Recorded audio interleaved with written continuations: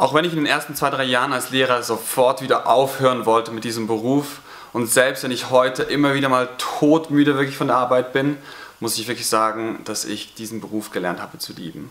Und aus welchen drei Gründen ich das geschafft habe und wie es jeder eigentlich schaffen kann, möchte ich in diesem Video erklären.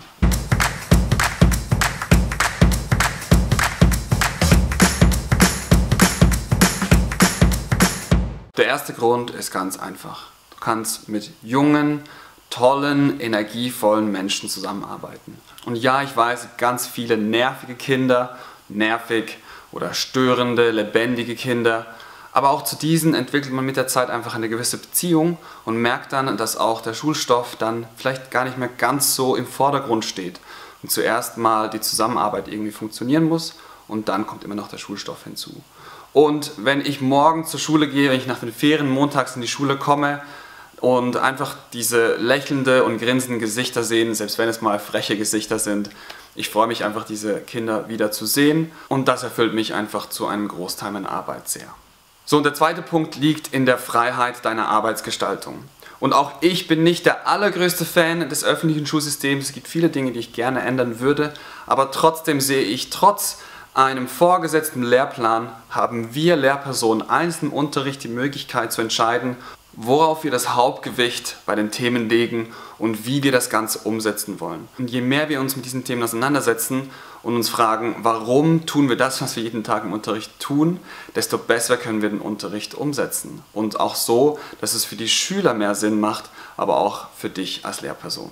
Und diese enorme Freiheit ermöglicht einfach mir, kreativ in meinem Beruf zu sein. Und der dritte Punkt ist dass ich wirklich der Überzeugung bin, dass man in diesem Beruf einfach jeden Tag etwas Neues lernen kann. Es gibt so viele unterschiedliche Menschen, mit denen man hier zusammenarbeitet. Man kann selbst einfach so viele unterschiedliche Bücher in die Hand nehmen und so Neues dazu lernen, egal über welche Themenbereiche, die man dann wieder in die Schule übertragen kann.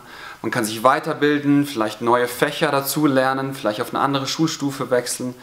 Ähm, ich denke, wenn man mit der richtigen Einstellung an diesen Beruf hingeht, dann kann das Lernen und das persönliche Wachstum einfach in einer Art zunehmen, so dass es einen wirklich erfüllt. Okay, und was bei all diesen drei Punkten hervorkommen sollte, ist, dass es letztendlich sehr auf dich selbst darauf ankommt.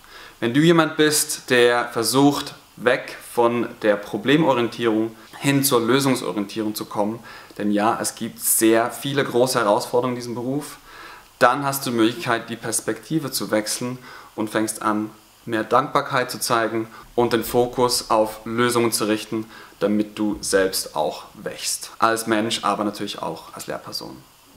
Okay, das war's für heute. Ich wünsche euch ganz viel Erfolg. Bis bald, macht's gut.